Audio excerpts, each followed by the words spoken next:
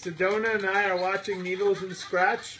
If you look, her eyes are attracted to the screen wherever it goes. And she jumps up. She loves it. Watch this. Whoa! She loves the, the, the DJ. So this is uh, my good friend Willie Harper creating Needlz and Skratch. So this is just a great testimonial because kids love it. And it's an amazing kid show. So, Willie, thank you for creating this. Sedona thanks you. Look at her.